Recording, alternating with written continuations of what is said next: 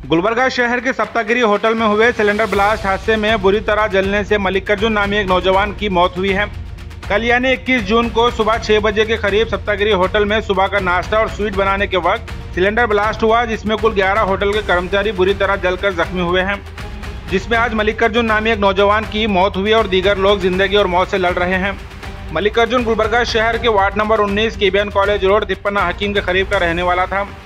और घर में माँ बाप और दो बहनें रहती हैं, जिनके लिए मल्लिकार्जुन ही कमाई का ज़रिया था। इंतकाल के बाद घर वालों से मिलने Gulbarga DC Fouzia Tarannum district incharge minister Priyank खड़गे, medical education minister doctor Sharan Prakash Patil, MLC Jagdev Guttedar police commissioner Chetan R IPS HUDA chairman Mazhar Alam Khan के अलावा एरिया कॉर्पोरेटर गौस मत्तेमोड़ और दीगर कांग्रेस लीडर्स और area के जिम्मेदार यहाँ मौजूद थे। प्रियांक खड़गे ने इस मौके पर घर वालों की माशी हालात देख अपनी जानब से कुछ माली मदद की है। और गुलबर्गा डीसी फौजा तरन्नुम मैडम ने इनको परेशान दे के घर अलॉट करने का ऐलान किया है।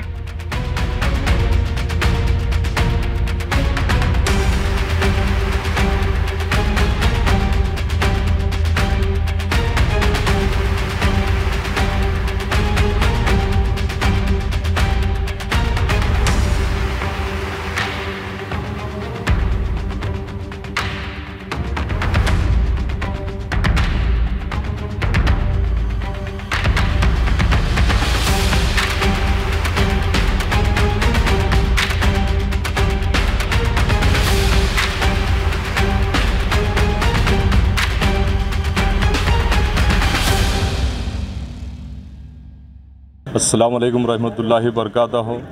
आज यहाँ पर वार्ड नंबर 19 में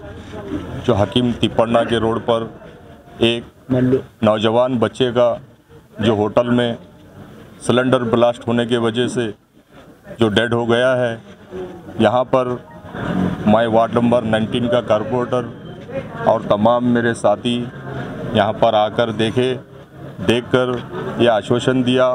और साथ में हमारे जो इंचार्ज डिस्ट्रिक्ट मिनिस्टर है, जो प्रियंक खरगे साहब शन प्रकाश पाटिल साहब, और हमारे एमएलसी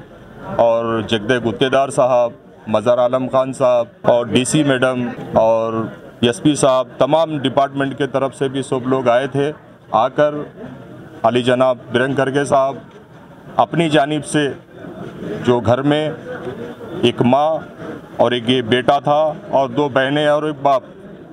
घर के खर्च के लिए कोई दूसरे नहीं थे, ये एक ही बच्चे के ऊपर सारा परिवार चलता था। इसके मद्दे मद्देनज़र रखते हुए आली जनाब प्रियंक खरगे साहब अपने तरफ़ से कुछ लिफाफे में दिया है और ये आश्वासन दिया है कि मैं गवर्नमेंट के जानिब से भी इन आगे कुछ करूँगा। इतना कहते हुए